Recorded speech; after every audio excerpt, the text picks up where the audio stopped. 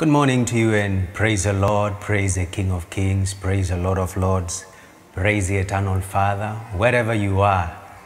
I greet you in the name of the Lord Jesus Christ. I hope that you're doing well. I hope that you're carrying on well. And I am glad to be able to visit you and to speak with you at such a time as this. Now, today, I needed us to speak about something quite interesting. I needed us to speak about friendship, friends.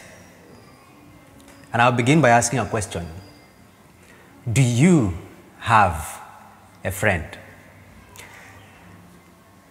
I once time had a privilege of attending my cousin's wedding, and uh, while there, it was uh, while the priest who was joining the wedding made a comment in one of the prayers that he was making. And he prayed and he said, May they grow old in the company of their friends. And at that moment, something gripped my heart. Growing old in the company of their friends. How sweet is that? He did not pray for riches, he did not pray for abundance, he did not pray for things that other people pray for. He prayed that they may grow old in the company of their friends. Now, how special is it to be in the company of friends? We will not be able to address this effectively and get a bearing on what to do in this life unless we check out the manual that God has given unto us, even the Bible. When we read the story of Jesus when he was ministering on the face of the earth, he called his 12 disciples and he called them unto himself and he taught them how to do ministry. He walked with them from place to place, demonstrating to them what ministry is. He raised the dead in their midst. And at some point, he did send the 72. And he told them, Behold, I give you power. And he gave them power. And they went out there and they did exploits. However, their time came in John 15 15, where the Bible says that no longer I do call you servants, for a servant does not know what his master is doing. But I have called you friends, for all things that I've heard from my Father I have made known to you. A time came when he looked back and he said, I have been ministering to them, I have been with them, but something needs to happen. I need to promote them from being servants and raise them up to a dimension of friendship. Because it is at that dimension of friendship where they can be able to gain access into certain things that I have within me. Friends, a real friend grants you access into who they are. Take a moment and think about it. And ask yourself do you have a friend? Somebody who has given you access into who they are. Access that even words of mouth cannot be able to fathom and cannot be able to demonstrate. There's so many other verses of scriptures in the Bible where you can be able to look back and get a picture. And what a wonderful picture do we get from the story of creation. God creates Adam, he creates Eve. And the Bible says they were in the garden. They were naked and they were not ashamed. Think about that. Now, in that state of life, where they were naked and not ashamed, they were able to access stuff in the spirit. There are certain things that you will access in this life where unless you are a friend to somebody, and I'm tempted to say this, yes, the grace of God is available. Yes, the grace of God works. But the grace of God, I want to believe it works in the context of friendship. And that is why Jesus would say, I call you friends. Adam and Eve, they were friends until the snake came talking to Eve. They were friends. And that's why they would live in a place of abundance, a place of unlimited provision, a place where God would come and talk to them in the evening. The Bible says that, and the voice of the Lord was heard moving in the garden. The voice of God would move to speak to them. Let's talk about the story of David and Jonathan. David, this young boy, he's a shepherd boy, he's out there doing his father's business. And then one time he's anointed. He is anointed to take over the kingship of Israel from Saul. Now, the kingship has had a rightful heir, the name of Jonathan. But Jonathan, when he got to know that somebody was getting anointed to take over his place, He did not oppose, he did not fight, he stood with David. The Bible says, and they made a covenant, and the love between them was, stronger than the love of a woman. There was a time David needed to go and see the king. And the Bible says that Jonathan removed his cloak and handed it over to David. He retook his sword and gave it over to David. Can you imagine somebody going for an interview to take over your job? And you remove your coat, you remove your shirt, you remove your trouser, or if you're, you're wearing a skirt, you remove everything that you have and you hand it over to them so that they can go and qualify for a job that you are supposed to be doing. This is a kind of commitment that Jonathan had for David, and David had for Jonathan. And their friendship was so strong, it was so strong that even years after Jonathan died on Mount Gilboa, David sat in his palace one day and he asked himself, Is there anybody left of the house of Jonathan that I may show them favor? Now, real friendship will transcend even generations. You will go beyond the person you are relating to into their children, into their children's children. He said, Wherever he is, whoever he is, bring him in. He was told, Yes, there is somebody, he's a cripple, Mephibosheth, he's in um, Lodebar. He said, Bring him in. He has to sit at my table. And Mephibosheth sat at the king's table for the rest of his life. He got married, he got kids. His farms that he used to have were being farmed by Ziba, the sons of Ziba, and produce was being brought. And he lived with the king because of his father. And I'm asking you again do you have friends? You know, we live in a generation where people who think they have friends, today we have friends and tomorrow we are not friends, tomorrow we are not talking because you saw my quote unquote nakedness. And instead of keeping quiet and going about and, and getting a garment and covering my nakedness, you went about, like that one son of Noah, went about and exposed my nakedness to the world. Are you really a friend? Have you been exposed before? Are those people who exposed you, did they have the spirit of a friendship? Think about it.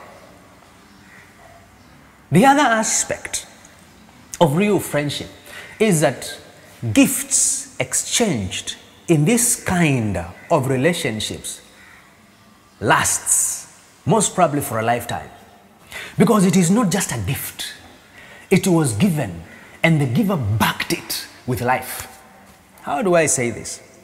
Have you ever noticed that there are some things that you are given by people that even many years later they are still there?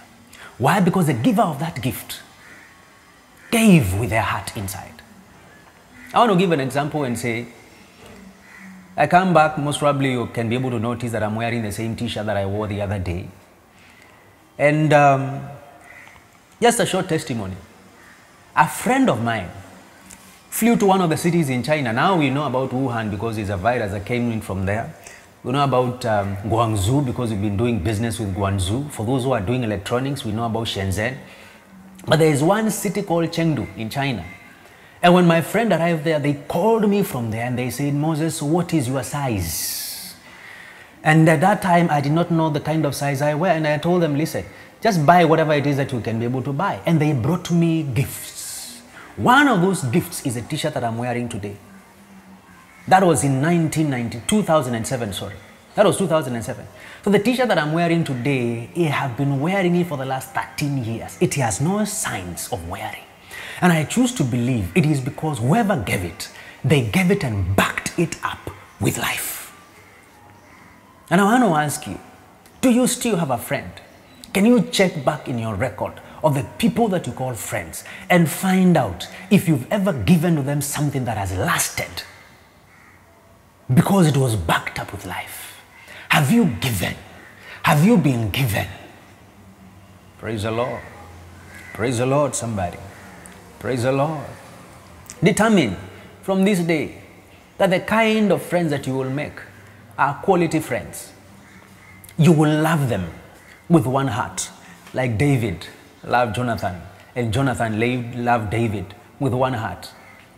There was a time Jonathan, David was running away from King Saul, and while he was in Ziklag, a band of men, warriors, there were 337,100 men gathered around him. And there was a question Do you come to me in peace? Because if not, may God judge between me and you. And the Bible says, And the Spirit of the Lord came, came upon Amasai. And when the Spirit came upon Amasai, he began to prophesy. And he said, We are yours, O David, the son of Jesse. The Spirit of the Lord was upon him. We are yours. We are committed to you. They were committed. 337,100 men were committed to one man. And the one man was committed to them. And you know what followed? The Bible says, and they ate three days because David had prepared for them. Now, how do you prepare food for 337,100 men?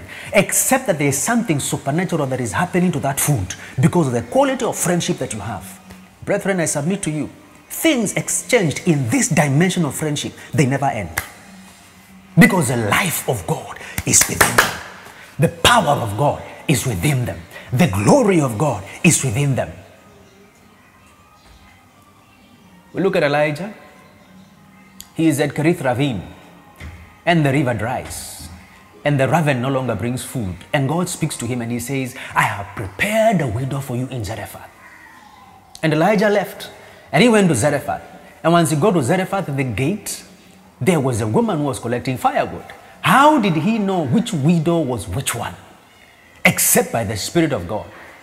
And he got to her and he told her, Listen, I need something to drink. And as she turned to go, he said, Wait a minute, I need something to eat. And she said, I have a little unga in my, in my, in my, in, at home, and I have little oil, which I am going to cook and eat with my son, and then we die. And Elijah said, Listen, cook for me first. Because thus says the Lord. He continued to prophesy. And I choose to believe it is because of commitment between Elijah and this widow woman that caused there to be a, a, an eternal supply of food for them for three and a half years. She was a poor widow. And as a poor widow, I don't expect her to be living in a three bedroomed house. And there is no record that Elijah left that house to go anywhere else to go and spend the night. But you know what? They enjoyed the kind of friendship that David and Jonathan enjoyed. And because of that, the thing that they were sharing between them did not end. That was Bible times. When you look at it these days, you hear stories of, oh, you know, when a child is born, kila mtoto anakuja na sahani yake. They have their own provision. God makes a provision for them. But I want to submit to you that it is not that they come with their plate. It is the love that you have for those children that causes the supernatural to move so that that which was enough for you can be enough for you and for them and whatever other person that depends to you depends on you. Some of us are not working the way we work and not making the kind of money we make, to make, we make today because we are smart. It is because of the kind of love and the bond that we have with children that god has given us now what kind of friendship what kind of people which people should you start in making them deep friends, not just friends, but deep friends. People number one are the people who brought you onto the face of the earth, people who cooperated with God to have you born, your mother and your father. If you are not a friend to both of them, I'm sorry to say, whatever it is that you have cannot multiply. Whatever it is that you have cannot increase. The Bible says that he that curses his father or his mother, his light shall be switched off in deep darkness. Don't just honor your father and your mother. Are you a friend to them? Are you a friend of your mother? Are you a friend of your father? Yes, he may have done stuff that he may have done. That he is your father. She may have done things that you, you know, weird things. But you know what? She is your mother. You're not going to get another mother. You better determine in your heart because I have something in my hand and I need it never to end. I am going to make them friends. For those who are married, you need to have to be a friend with your spouse. You need to be a friend with your wife. You need to be a friend with your you're not just married, but friends, deep friends. Deep friends who, not, who never argue about stupid things. Deep friends who are committed to one another. Deep friends, deep, deep friends. You need to be friends with your children if you have children. You need to get to a place where when children, your own children see you, they don't see a monster. They see a father, they see a mother, they see a deep friend, somebody they can share their life with. Are there people in your life who have been a blessing to you? Are there people in your life that God has sent your way? You need to find them. You need to commit to them. You need to be with them. You need to stand with them and make them deep friends. I remember one time my younger brother broke his leg at the thigh bone and he was shipped from another county and was brought to where I am, County 001. And he was admitted at a private hospital, at, at, at, at a public hospital. And while there at a public hospital, I went visiting the following day. And when I went visiting the following day, I found that he had come with a certain gentleman who, in my estimates, was at the time in his late 40s. Meaning this gentleman had a family back home and he left his wife, he left his children, he left his family and traveled hundreds of kilometers carrying my brother. He did not know me. When I met him, and we managed to move my, uh, my brother from, from a public hospital to a private hospital for treatment. Uh, we were finishing the process at about 7.30 p.m. And I told him, let's go out, let's have a meal, let's go home, let's freshen up because I mean, it's been hard. And he looked at me in the eye and he said, you know what, I am not going to leave that young man here alone. And with that, he left and went back to the hospital. Now, at the hospital, my brother was admitted for six days. And in the six days, this gentleman would take a cushion of a seat. He will put it on the floor, put his head, the rest of his body on the floor, and he slept on the floor for six good days because of my younger brother. Upon discharge, the bill was, you know, high through the roof and I did not have all the money so I had to, you know, ask a few people to help me. And in the process at some point I sat in the hospital ward and I told my brother, now everybody has given and you need to give something. How much do you have?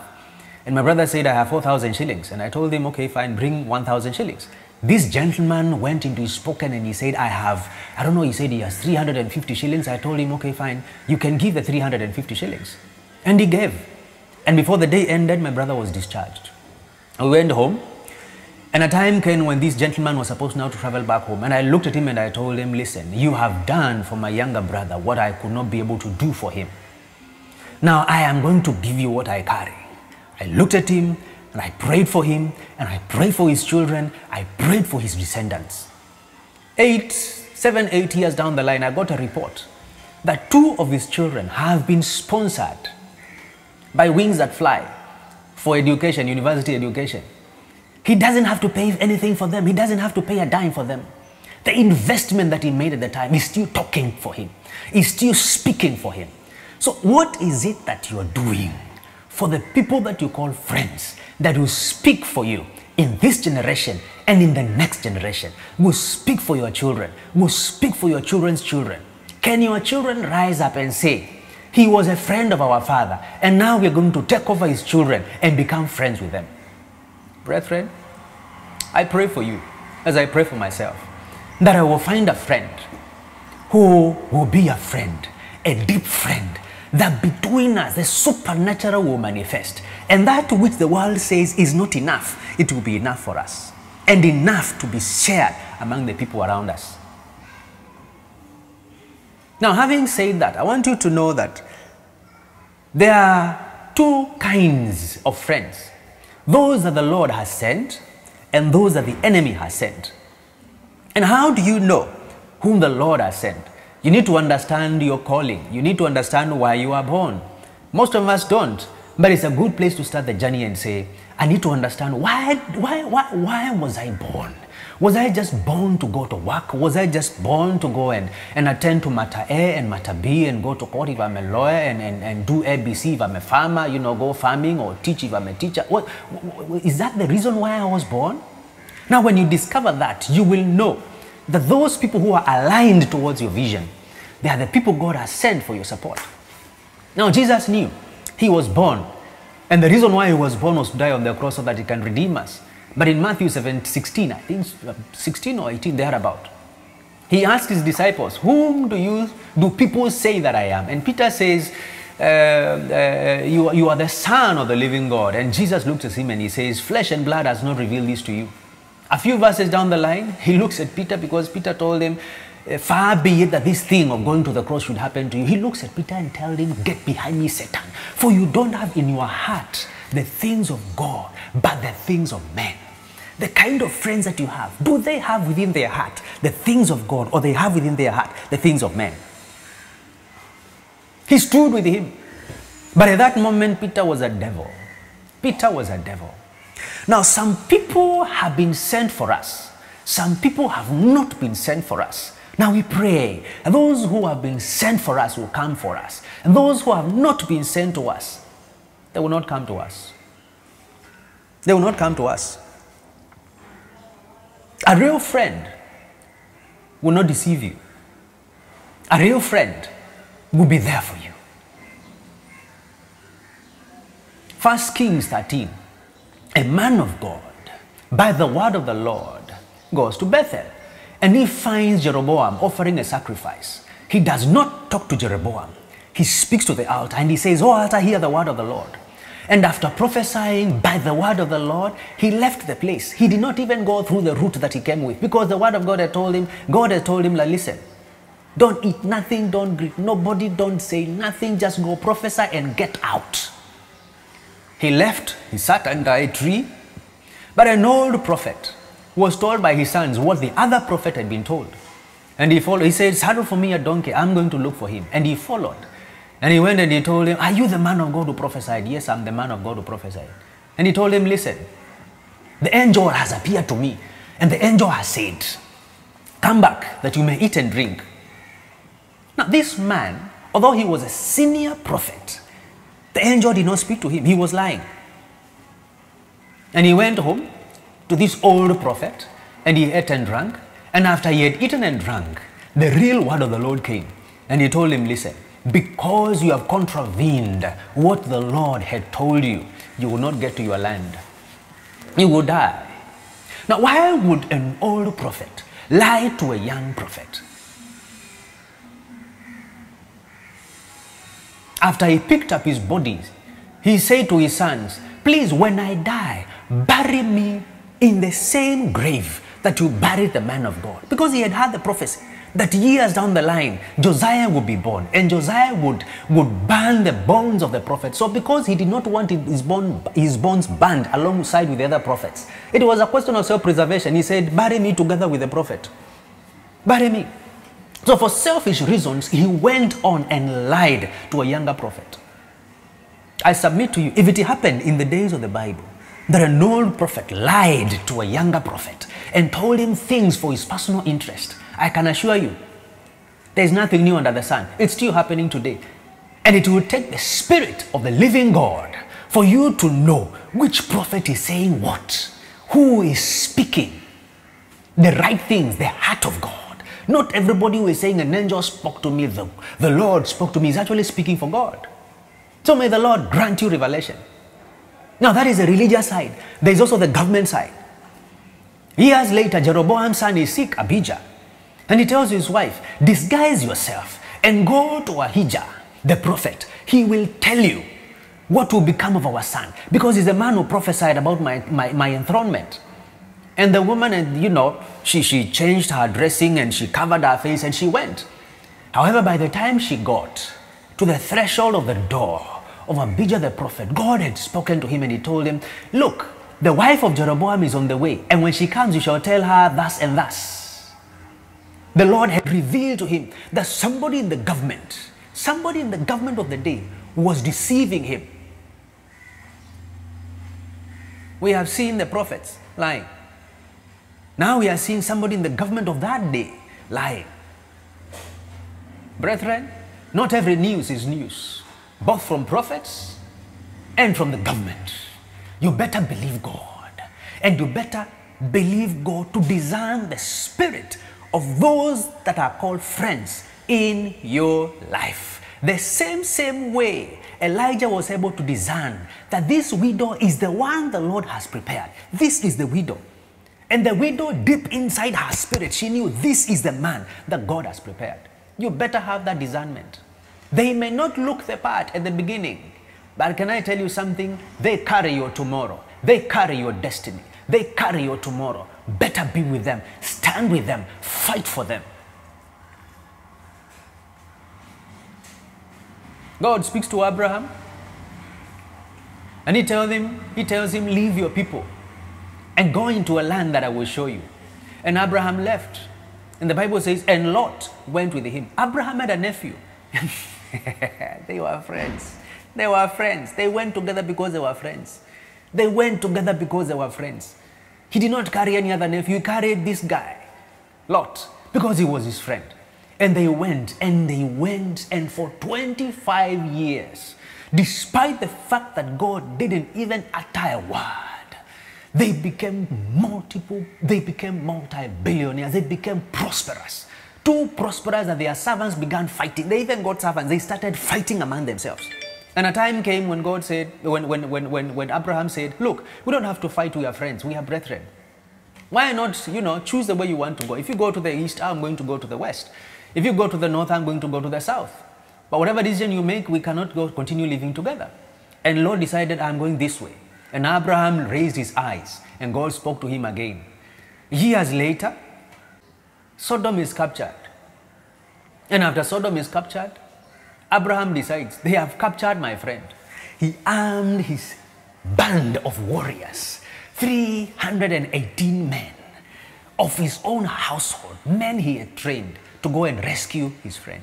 That is what you do for a friend. You hear your friend is in trouble, you arm your soldiers. And you say, I don't care what is going to happen. I am going to fight for my friend. He went, he fought, he conquered, he recovered everything. He brought them back. As if that was not enough, the angel came. Years later, stood at his entrance. There were three of them, and Abraham saw them, and he brought them in, and he had the meal prepared for them. And as he was preparing a meal for them, one of them said to himself, Shall, shall, shall we not tell Abraham, our friend, what we are about to do to Sodom? And when Abraham was told, he stood on a mountain and he started to intercede. What if there are 50 righteous? What if there are 45 righteous? What if there are 30 righteous? What will you still destroy the righteous with the unrighteous? And he interceded. He was praying for his friend Lot. And he prayed and prayed and prayed and prayed until the end. That is what you do for a friend. You hear they are about to get into trouble, you stand with them, you pray for them. You don't even go announce, announcing to them that, oh, you know, my friend, I've been praying for you. I've been, I'll keep you in prayers. I've been, those are not friends. When you hear somebody saying, I'm praying for you, think twice.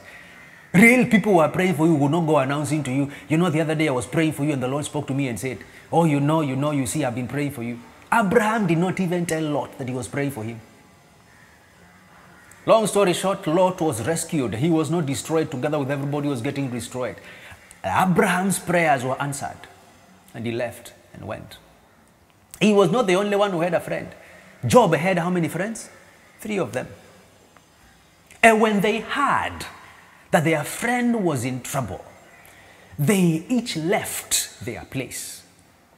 Step number one, they traveled a distance. Step number two, and when they saw Job afar off, and when they saw the kind of problems that he was going through, the Bible says they each tore their garments and they came and they sat where Job was sitting. And for seven days, they said nothing. They were mourning with him. Now, that is what friends do. That is what friends do. That is what friends do. When they hear a friend is in trouble, they leave what they are doing and they travel far. They leave their people. They leave their kindred. They leave their jobs, they leave their properties, and they go and sit with their friends at the place of challenge until the friends come out. Chapter 42 of Job. And the Bible says, and God prospered, prospered. And God prospered the friends of Lot because the friends of Job, because Job prayed for his friends. So when he started to come up, when he started to prosper, he did not prosper alone. He did not prosper alone. His friends too came up with them. That is what friends do. You are with me when I am down. When I am getting up, I am not leaving you behind. We are going together. We are going together. We are going together. We are going to. And that is why I believe Jesus would tell his disciples, Now you are my friends. Because he knew someday, someday will come that when he appears in the cloud, those that are dead will come up, and those that are living will join up and meet him in the air because that is the portion of friends. if I move from this dimension into another dimension, I am not leaving you behind. If I come up out of the grave, and go up and sit at the right hand of the Father. Ephesians said that the same power that raised Jesus from the dead is the same power that is at work within us. And the Bible says in chapter 2 of Ephesians, For he has raised us up together with him and has made us sit together with him in the heavenly places at the right hand of the Father, a place that is far above every rule, authority, power, and dominion. And with us is a name that is above every name, both in this age and in the age to come. That dimension is accessible to us because Jesus has made us My brother, I invite you to be a friend. Number one, with Jesus. If you're not born again, you need to get born again. Become a friend with Jesus. Become a friend with our Lord. Become a friend with Him. Become a friend with our Savior. That just as He rose from the dead, you too are rising from. You cannot, death cannot hold you captive. He was not sick at any given time. It is your portion of immortality. In the name of Jesus, let immortality, the same dimension he lived in, the same dimension we are walking because he has called us friends. He walked about, healed the sick, raised the dead. There was something that was operating in him. It begins to operate with you. You're not working miracles until his compassion is within you for the people. You are not raising the dead until the compassion he had, the same dimension of compassion, is also at work within you. You're not going to work miracles like he worked miracles. You're not going to defy the elements of nature until he who until who he is is one with you. Make a prayer today that just as you are, just as he is in the heavens, so are we in the earth. Just as He is in the heavens, so are we in the earth.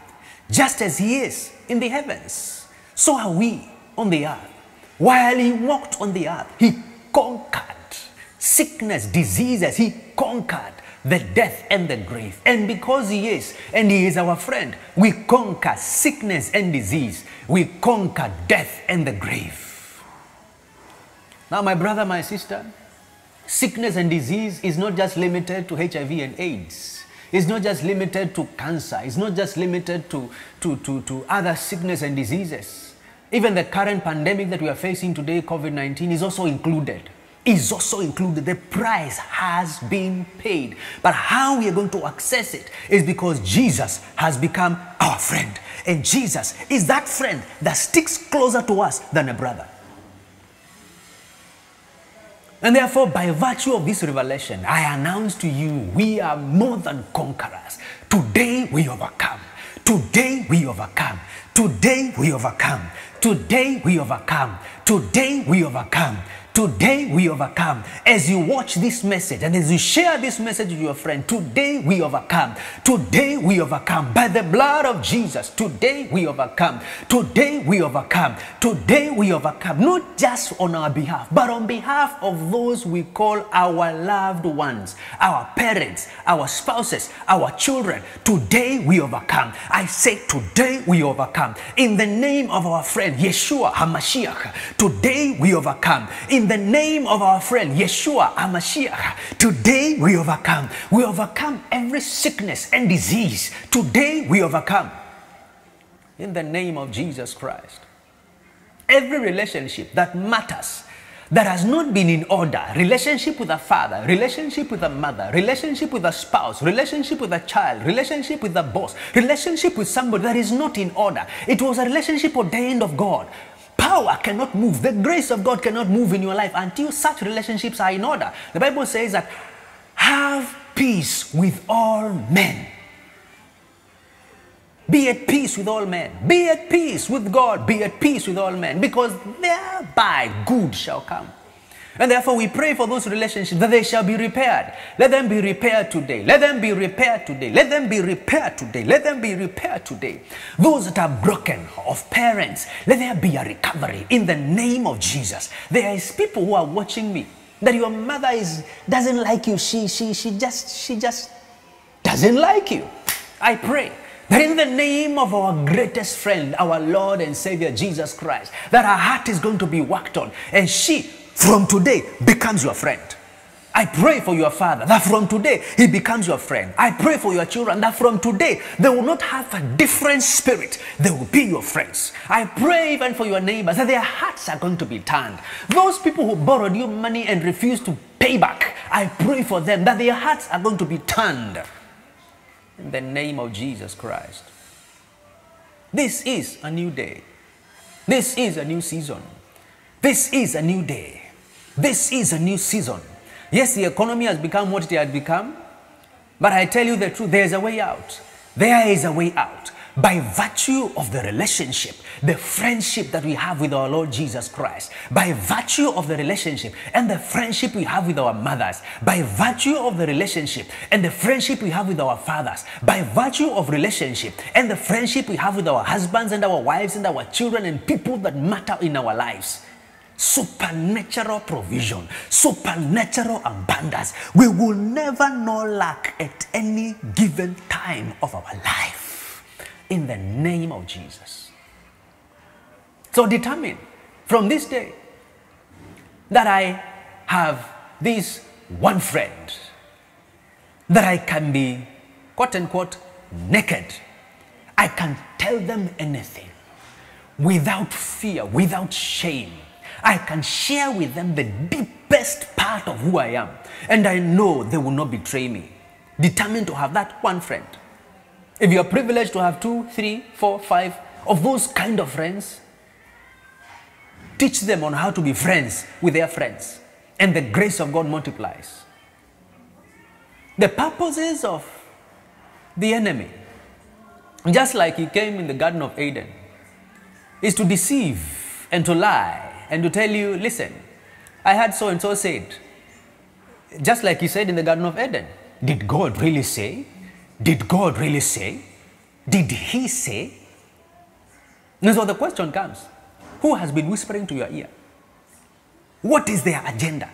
Their agenda is to separate you from the friends God has sent your way. And because now we have discovered them, we say, Lord, deliver us.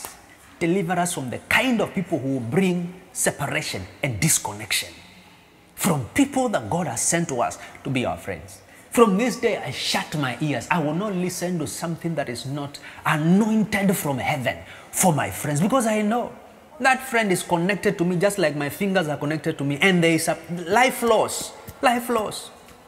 Yes, I can cut my hand off, but I'll be minus one hand. I can be minus one hand. Yeah, I can be minus one hand. And that's not something, a situation in life that I want to go in. So determine in your life, determine from today that I will be a quality friend to my friends, that I will have quality friends in the name of Jesus. I pray for you that as you start this journey, the grace of God be, is going to be with you. Those of us, of us who are struggling financially, I pray that the grace of God will make that which is available multiply for your sake. The little that is there in your bank account, the little that is there in your kitchen, in your fridge, the little resource that you have, because you are a friend and you have friends, the supernatural power of God that multiplies stuff, it will cause there to be a multiplication.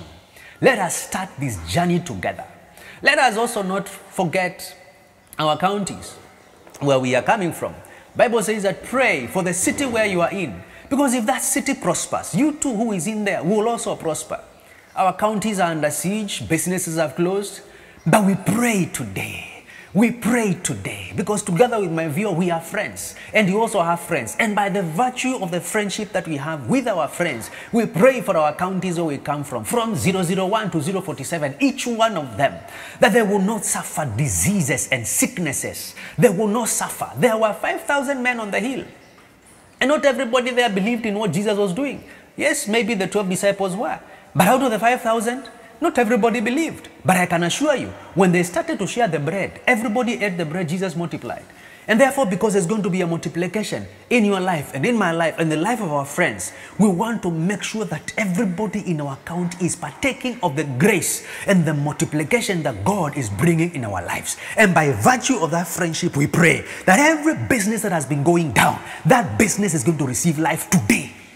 That business is going to multiply from today in the name of Jesus Christ. New avenues to earn will open up today in the name of Jesus Christ. The sicknesses and diseases that have been ravaging our counties, from this day they come to an end. We pray the supernatural power of God, where He says that once I shut a door, nobody can open. Today we agree with the heavens that the movement of this virus that has been sneaking around estates we shut it out in the name of Jesus Christ, the Son of the living God. That this disease will not move around our towns. This disease will not move around in our villages. This disease will not move around our people. We put an embargo and say, enough is enough. There must be a recovery from this day in the name of Jesus Christ. A day of new beginning in the name of Jesus. Thank you for watching from wherever you've been watching from. I pray that you'll be able to share this video with your friends. And they shall be blessed just as you have been blessed. Take it upon yourself and determine to start this journey. Until next time, God bless you. Thank you.